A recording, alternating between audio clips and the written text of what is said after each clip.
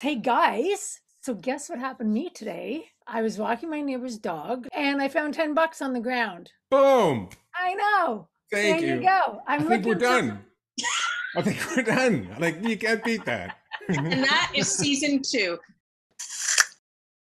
So the tip is when you're walking, always look down and you can find money. yeah, and run into stuff. Raoul has joined. Oh my god, we should talk about him.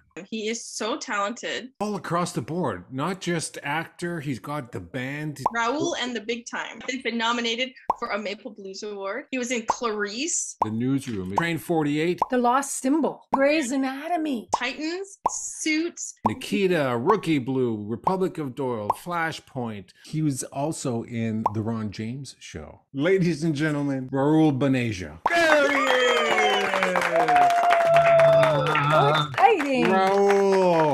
Snak, Snak, Snak. Why did you become an actor? I've always wanted to be a performer, whether it was being a musician or an actor. By the time I was 10, 11, 12, man, I want to be in front of people. And I haven't really figured out how to do anything else. Your first credit goes all the way back to, I think, 1996. First season of Ken Finkelman's The Newsroom. I was still a student at the National Theatre School. Come down for Theatre Ontario audition. Robin Cook came up to me and said, I'm doing this show called The Newsroom. Would you mind auditioning for it? Here's my card. Send me the VHS. I went back to school. I got my classmates to help me, like, slam, ka-chung. I ended up getting it. I thought you were gonna wait downstairs. Yeah, well, hi.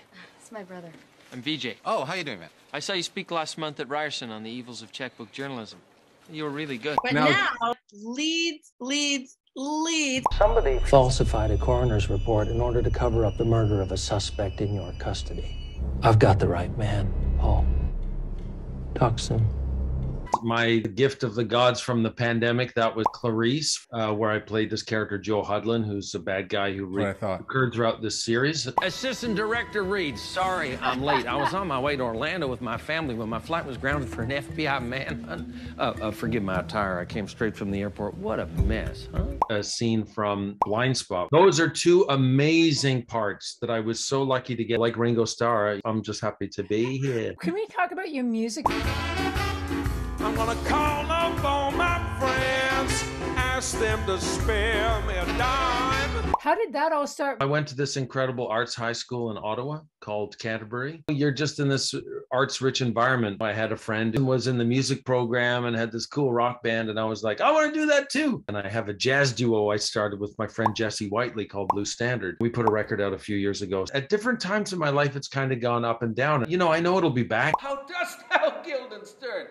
Oh, Rosencrantz, good lads, how do ye both? Unbelievable. Hamlet Solo, the ideas for it when I was in theater school. And then 2006, we premiered it. Toured it in Canada, in New York, in Edinburgh, and the UK. And it's the most challenging thing that I do. It's a, a wonderful treat, but it's very scary. And I'm even getting kind of nervous just talking about it. What do you got coming up? I'm in a show called Dan Brown's The Lost Symbol. On Showcase, I will be performing at the Jazz Bistro with Blue Standard, my partner Jesse Whiteley on piano, and our special guest Juno Award nominee Allison Young on saxophone oh, at the Jazz She's Bistro fantastic. on Saturday, November the 27th. Raoul, thank you very much, my Thank you friend. so much. Thank you. Nice to Thank see you, you. Thank Awesome. you. Thank you. Thank you. Have a guys. great weekend. Okay. That was Of course, awesome. he's great. He's a lovely, lovely human being.